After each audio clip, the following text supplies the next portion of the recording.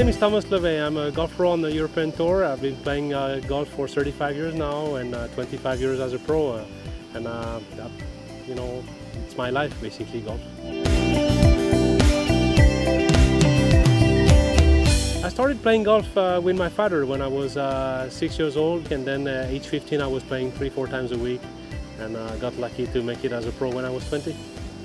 Proudest is to have been able to win on tour, so that's, that's pretty crazy.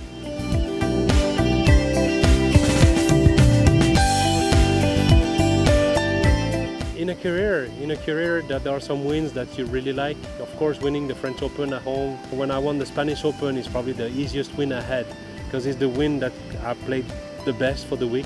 Uh, the one I won the Scottish Open was very special because it put me into the British Open and probably into the Ryder Cup as well. And uh, and obviously all, all the wins are, are really special, but these three they really stand out. So my, my typical practice there would be divided in two or three parts short game, long game, putting, you get bored very quickly if you practice too much on one thing.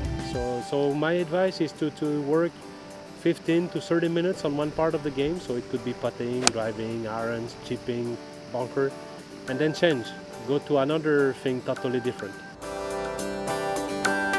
The skill I rely the most uh, every day is, uh, you know, I focus very, very well under pressure. And uh, the more pressure, the, the better I'll be and uh, the more I'll enjoy it. I know that if mentally I'm okay, technically I'll be all, right because uh, the shots are at our level. When we miss the most is uh, when we struggle and we doubt on, on the ability of do a shot and because if you hesitate on a golf shot, that's the best way to miss it.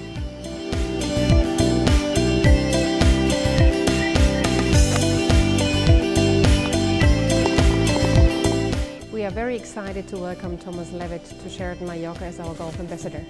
Our partnership with Thomas provides us with the opportunity to create new and unique golf experiences for our guests. This will make their stay at Sheraton Mallorca very truly unique.